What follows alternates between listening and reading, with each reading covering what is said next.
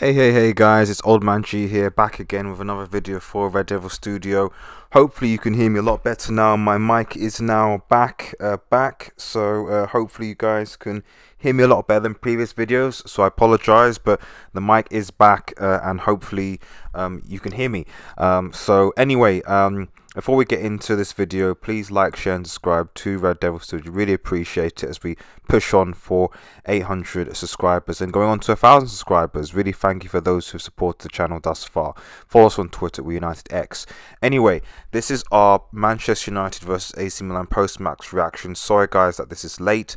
Um, I've just been busy um, a week, but I just want to give you a brief post-match reaction. Not going to be a long video, but just a few things because obviously the big game is going to be next week when we play Chelsea in our first game, where we'll do a match preview. Um, as I said, there are a couple of videos coming up uh, regarding uh, match previews, live streams, pairs, and all the rest of it. So stay tuned. This week is actually going to be quite a busy week. Um, but anyway, um, going on to this game.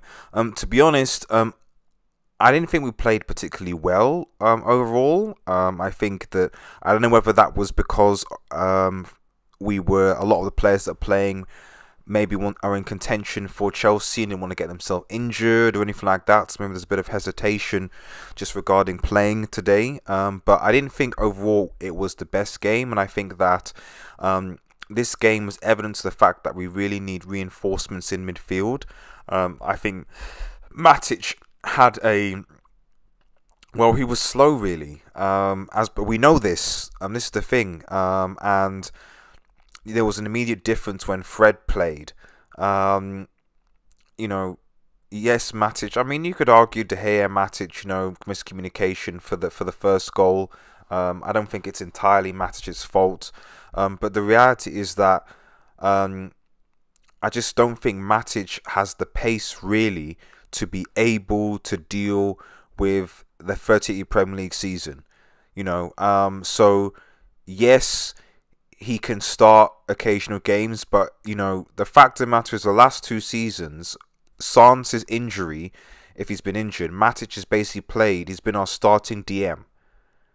You know, there's been no real replacement for Matic proper in that position. And I just think that um, with his age now and with his lack of pace, he can't be our go-to DM for the for 38 games. He can't be. Um, so either Fred or McTominay, if we're not going to get like a you know an Ndidi or or a uh, um, a Partey, definitely, you know those players will need to play in that position. You know because I just see us losing a lot of goals um, unnecessarily because that position is weak. And as I said at the beginning of this this transfer window, for me, the key positions that we need to fix were centre back, right back, um, defensive mid, and and then um, right wing. Well, no, defensive mid, right back, and centre back were for me the priorities because those are our weak, very very weak areas. In terms of in terms of supporting, then we need to get an, a holding midfield and a right winger. We can make do sort of with what we have, but it's I wouldn't argue it's enough to challenge um, for the top four. But at the very least, we need to replace. We need to get a new centre back, a right back, and a and a defensive midfield. We've got two of those thus far.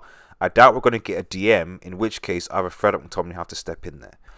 Anyway, so that's a bit on the negative side. I just feel that I'm hoping it's because a lot of players want to conserve their energy, but I think the performance against Chelsea Old Trafford needs to be better. Um, that said, big shout out to Marcus Rashford how he took his goal. Really, really clinical. I like the technique and the, and the skill to really basically sort of come in, um, take his time and finish. I'm hoping that as the season progresses, you know, his finishing will get better. His intelligence will get better as well. He won't think about it too much and he will just sort of shoot and score because that's what we need. Because if he's our number nine, um, then he's gonna have to be he's gonna have to be putting those away on a regular basis. I still think, and Marcus Rashford has said himself publicly that he prefers playing on the wing. So I think either a Martial or even a Greenwood should be up there. Um, if we keep Lukaku, fair enough.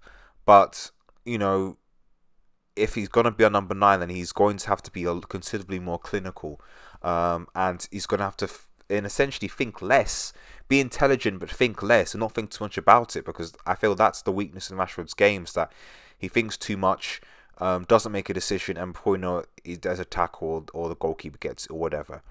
Um, Lingard's goal again, very very good. Um, I think he had a, I think he had a better performance compared to his previous um, preseason games, and that was encouraging. Um, big shout out and think me my one man of the match for Aaron Wan-Bissaka. To be honest, this guy has essentially, I think, is is, is going to revolutionize our um, our right back situation. You know, he is absolutely he is he is he is, um, and in terms of one on one getting past him, especially for teams that are going to use the flanks and the wings, I think it's going to be very difficult to get past him. You know, so I know it's just preseason. I don't want to gas him up or hype him up or anything like that. But if he continues to play the way that he's played, for me, he's been the most impressive player of, for, of our entire preseason. He has, uh, and for such a young player and just coming into United team, his discipline, his motivation, his attitude. I just think that Aaron Wan-Bissaka has a great future ahead for for Manchester United. And tell me what you think, guys. Do you think so as well? Um, but yeah, guys, I'm looking forward to start the season. I will be at Old Trafford next week. Um, I will be there. Um, there, so the post-match reaction may come a bit late. Um, I will be. I'll certainly be doing a preview of on as well. Maybe I'll get a few pictures on Instagram or Facebook, uh, Facebook or whatever, just to sort of share to you guys just what the game against Chelsea. But yeah, guys, um, you know, um, we'll see what happens. Um, we will see what happens. Um, fingers crossed, we hit the ground running. But you know, we won the game on penalties. Um, it was um, two to the end. Um, Daniel James uh, scores the final penalty in, in Wales in Cardiff, um, which was uh, which was obviously a nice touch. And he has played well, Daniel James. He has played he's, he's played very well actually um, for youngster. I don't think he's going to be starting per se, although he's certainly going to be forcing his way to start. We'll see. We'll do a predicted. I'm going to be doing a predicted lineup um, uh, before the game. Um, amongst other things, uh, and uh, we'll, we'll see who basically gets started because I would be surprised if Daniel James was going to start. I would imagine Ollie would basically default back to what he knows. Um, but like I said, we'll go into a starting uh, starting eleven for the, this Chelsea game next week when we talk about our preview. Thanks for listening, guys. Please like, share, and subscribe to Red Devil Studio. Hopefully, you can hear me a lot better now. Um, follow us on Twitter, We United X. Let's push on to a thousand subscribers. Have a nice evening, guys, and cheers.